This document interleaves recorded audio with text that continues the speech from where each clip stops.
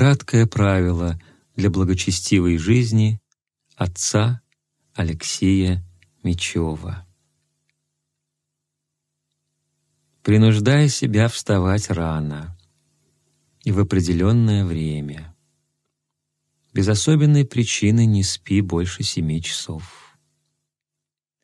Как скоро пробудишься от сна, тотчас вознеси мысль свою к Богу и сделай на себе со благоговением крестное знамение, помышляя о распятом Господе Иисусе Христе, который для нашего спасения умер на кресте. Немедленно встань с постели, оденься и не позволяй себе долго нежиться на мягкой постели и оставаться неодетым. Одеваясь, помни, что ты находишься в присутствии Господа Бога и ангела-хранителя. И вспоминая о падении Адама, который грехом лишил себя одежды невинности, и смиренно просил Господа Иисуса благодати облечься в Него, и так мыслить, чувствовать, говорить и делать, как Он сам и мыслил, и чувствовал, и говорил, и делал. Потом немедленно начни молитвы утренние. Преклонив колено, молись тихо, внимательно, благоговейно и с глубочайшим смирением, как должно перед взором всемогущего, и спрашивай у него веры, надежды и любви, и благословения к занятиям этого дня. Проси себе сил к благодушному принятию всего того, что ему будет благоугодно в тот день послать или попустить, и перенесению всех тягостей, трудностей, бедствий, смущений, напастей, скорбей и болезней души и тела с твердостью, спокойствием и с любовью к Иисусу Христу. Прими твердое намерение все делать для Господа Бога, все принимать из отеческой руки Его, все, и особенно решимость делать именно такое-то добро или избегать именно такого-то зла. Приноси всего себя в живую жертву Богу. Размышляй так. Может быть, этот день есть последний день моей жизни. И все так делай, как бы ты хотел делать, готовясь предстать теперь же на суд Божий. Благодари Господа Бога за сохранение тебя в прошедшую ночь, и что ты еще жив и не умер во грехах. Скольких людей в прошедшую ночь смерть представила пред страшное судилище Господа. Также возблагодари Бога, что еще есть для тебя время благодати и милосердия, и что есть еще время и средства для покаяния и приобретения неба. Каждое утро думай о себе, что только теперь начинаешь и хочешь быть христианином, а прошедшее время напрасно погибло. Хоть четверть часа каждое утро посвящай на краткое размышление об истинах веры, особенно о непостижимом таинстве воплощения Сына Божия, о втором пришествии Его, страшном суде, муки и рае — После молитвы и размышления, если позволит время, то почитай какую-нибудь книгу духовную, например, святителя Дмитрия «Алфавит духовный» и святителя Тихона Задонского «Сокровища от мира собираемое». И читай до тех пор, пока сердце твое придет в умиление. Довольно подумав об одном месте, читай далее и внимай тщательно тому, что Господь говорит твоему сердцу. После сего займись делами твоими, и все занятия и дела твои да будут во славу Божию. Помни, что Бог везде видит тебя, зрит все действования, занятия, чувствования, помышления и желания твои и щедро воздаст тебе за все добрые дела. Не начинай ни одного дела, не помолясь Господу Богу ибо то, что мы делаем и говорим без молитвы, после оказывается или погрешительным, или вредным и обличает нас через дела неведомым для нас образом. Сам Господь сказал, «Без Меня не можете творить и ничего же». Среди трудов твоих будь всегда весел и покоен. Успех их поручая благословению Господа и довольствуясь тем, что Ты сделал свое дело. Исполняй все тяжкое для Тебя, как эпитемию за грехи Твои, в духе послушания и смирения. В продолжении трудов произноси краткие молитвы, особенно молитву Иисусову, и представляй себе Иисуса, который в поте лица своего ел хлеб свой, трудясь с Иосифом. Если твои труды совершаются успешно, по желанию сердца твоего, то благодари Господа Бога. Если же не успешно, то помни, что и это Бог попускает, а Бог делает все хорошо. Если же остается время перед обедом, то рассмотри, как ты исполнял то, на что решился поутру, или во время благочестивого чтения, или во время размышления. Во время обеда представляет Отца Небесного, отверзающего руку свою, чтобы напитать тебя. Никогда не оставляй молитвы перед обедом, и во время его представляй, что Иисус обедает с тобою. Удели от своего стола и нищим. После стола считай себя как бы одним из тех, которых в числе пяти тысяч напитал чудесный Иисус Христос, и возблагодари Его от сердца, и моли, чтобы Он не лишил тебя небесной пищи, Слова Своего и святых тела и крови Христовых. Если желаешь жизни мирной, то предай всего себя Богу. До тех пор ты не найдешь душевного мира, пока не успокоишься в едином Боге, любя Его одного — Всегда и во всем поминай Господа Бога и святую любовь Его к нам, грешным. Во всем старайся исполнять волю Божию и угождать только единому Богу. Не делай ничего против заповедей Божьих. Не домогайся и не ищи ничего, кроме Бога. Делай и терпи все для Бога. Не заботься о том, чтобы уважали и любили тебя люди века сего — но о том, чтобы угодить Господу Богу и чтобы совесть твоя не обличала тебя во грехах. Если же хочешь непрестанно помнить о Боге, то скорби и несчастье переноси, как справедливо тебя постигающие.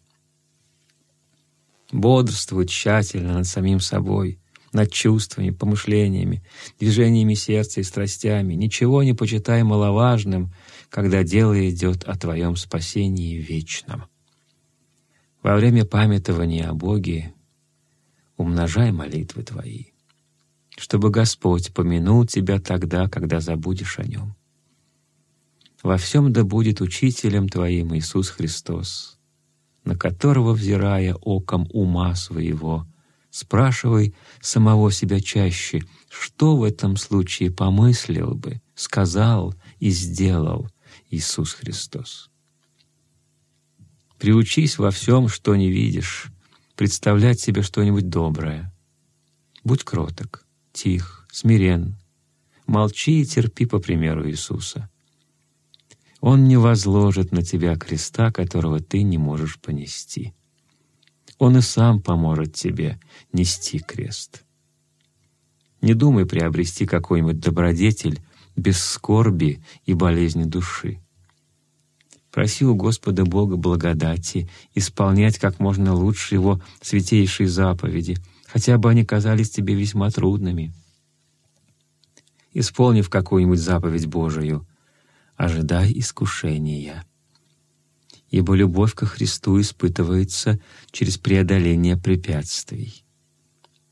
И на малое время не оставайся в праздности, а прибудь всегда в трудах и занятиях, ибо нетрудящийся недостоин имени человека и непременно погибнет.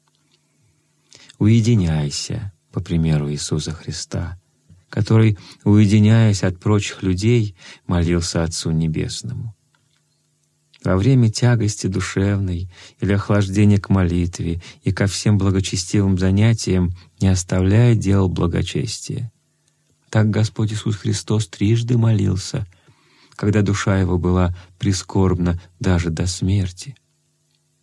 «Делай все во имя Иисуса», и таким образом всякое дело Твое будет делом благочестия. Более слушай, нежели говори. Во много глаголаний не спасешься от греха. И спрашивай для себя у Господа благодати, благовременно и молчать и говорить, и полагай хранение устам Твоим, чтобы не согрешить языком, и заграждай слух, чтобы не услышать противного Господу Богу. Не любопытствуй о новостях. Они развлекают дух. С охотой рассуждай о добрых предметах. Убегай даже самых мелких грехов, ибо не удаляющийся от малых непременно впадет в большие и тяжкие. Если хочешь, чтобы не тревожили тебя злые помыслы, то со смирением принимаю уничижение души и скорбь телесную, не отчасти, но во всякое время, во всяком месте и во всяком деле. Всякий помысл, удаляющий тебя от Господа, особенно скверный плотский помысл, изгоняя из сердца своего как можно скорее, как сбрасываешь с одежды и одну искру, попавшую на нее — когда приходит такой помысел, то молись крепко, «Господи, помилуй, Господи, помоги мне, Господи, не оставь меня, избави от искушения». Или иначе как. Но среди искушений не смущайся. Кто посылает случаи к сражению, тот даст и силы к победе. Будь спокоен духом, уповай на Бога. Если Бог за тебя, то кто против тебя? И спрашиваю у Бога, чтобы Он отнял от тебя все, что питает твое самолюбие. Хотя бы это лишение было для тебя самое горькое. Желай жить для Него одного и умереть и всецело принадлежать Ему.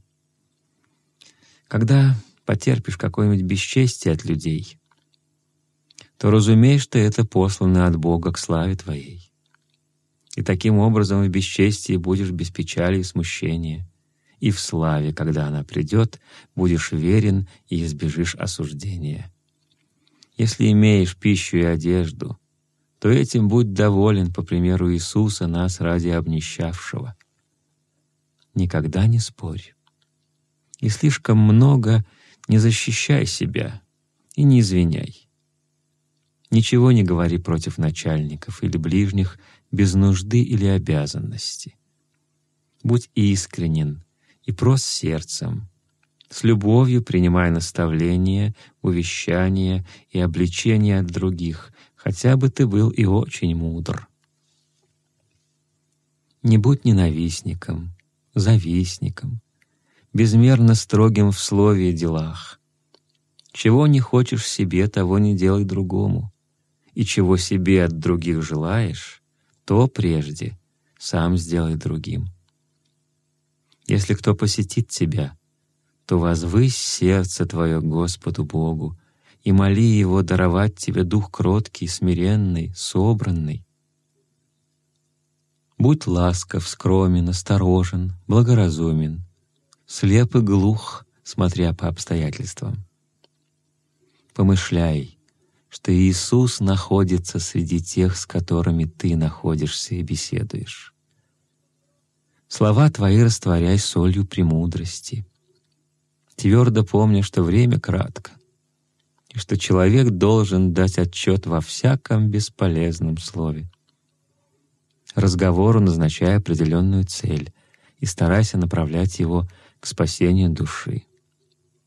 Когда же кому принесешь пользу словами твоими, то признавая в этом благодать Божию. Когда ты находишься наедине с собою, то испытывай себя. Не сделался ли ты менее добр, нежели как был прежде? Не впал ли в какие грехи, которые прежде не делал? Если согрешишь, то немедленно проси прощения у Бога со смирением, сокрушением и упованием на Его благость, и поспеши принеси покаяние пред Отцом Духовным. Ибо всякий грех, оставленный без покаяния, есть грех к смерти о котором, если и святой помолится за другого, не будет услышан. Притом, если не будешь сокрушаться о грехе, сделанном тобою, то опять в него скоро впадешь. Старайся делать всякому добро, какое и когда только можешь. Не думай о том, оценит ли или не оценит он его, будет или не будет он тебе благодарен — и радуйся не тогда, когда сделаешь кому-нибудь добро, но когда без злопамятства перенесешь оскорбление от другого, особенно от облагодетельствованного тобою. Если кто с одного слова не оказывается послушным, того не понуждай через прение. Сам воспользуйся благом, которое он потерял, ибо незлобие принесет тебе великую пользу. Но когда вред от одного распространяется на многих, то не терпи его. Ищи пользы не своей, но многих. Общее благо важнее частного. Во время ужина вспоминай о последней вечере Иисуса Христа. Моли Его, чтобы Он удостоил тебя вечери небесной. Прежде, нежели ляжешь спать, испытай свою совесть Проси света к познанию грехов своих, размышляй о них, проси прощения у них, обещай исправление, определив ясно и точно, в чем именно и как ты думаешь себя исправить. Потом передай себя Богу, как будто бы тебе должно всю ночь явиться пред Ним, поручая себя Божией Матери, ангелу-хранителю, святому, которого имя носишь. Представляй постель как бы гробом твоим и одеяло как бы саваном. Сделав крестное знамение облобызав крест, который на себе носишь, усни под защитой пастыря Израилева, то есть Господа, и же храняя не воздремлет, ни же уснет. Если же не сможешь спать, или будешь бодрствовать во время ночи, то вспоминай слово «Полунощи же вопль бысть, се жених грядет». Или вспоминая той последней ночи, в которую Иисус молился Отцу до кровавого пота. Молись за находящихся ночью в тяжелых болезнях и смертном томлении, за страждущих и усопших, и моли Господа, да не покроет тебя вечная тьма во время болезни. Прежде всего возложи упование Твое на Бога. И частым воспоминанием и размышлением о страдании и смерти Иисуса Христа занимай себя, чтобы более и более укреплялось Твое сердце. Непрестанно твори какие-либо молитвы, какие знаешь и можешь.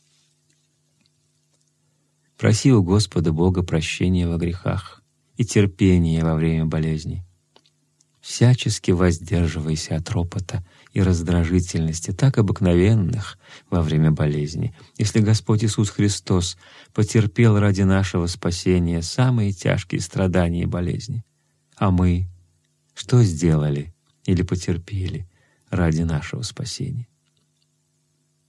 Как можно чаще ходи в храм, к божественной службе. Особенно старайся как можно чаще быть во время литургии — воскресные праздничные дни непременно посвящай делам благочестия. Всегда, когда находишься в храме, представляй, что ты находишься в присутствии Бога, ангелов и всех святых. Остальное время дня после литургии посвящай на благочестивое чтение и другие дела благочестия и любви. День рождения твоего особенно посвящай делам благочестия. Каждый год и каждый месяц делай строгое испытание твоей совести. Исповедуйся, и приобщайся святых тайн как можно чаще. К приобщению святых тайн приступай всегда с истинным гладом и истинную жаждою души, с сокрушением сердца, с благоговением, смирением, верою, упованием и любовью. Как можно чаще размышляй о страданиях и смерти Иисуса Христа, умоляя Его, ризою заслуг своих, покрыть все грехи Твои и принять Тебя в Царство Свое. Имя Иисуса всегда имея в устах и в сердце. Как можно чаще размышляй о великой любви Господа к тебе, чтобы и самому тебе возлюбить Его всем сердцем Твоим, всею душою Твоей, всеми силами Твоими. И таким образом будешь вести мирную жизнь на сей земле и блаженную на небе во веки веков. Благодать Господа нашего Иисуса Христа да будет с тобою.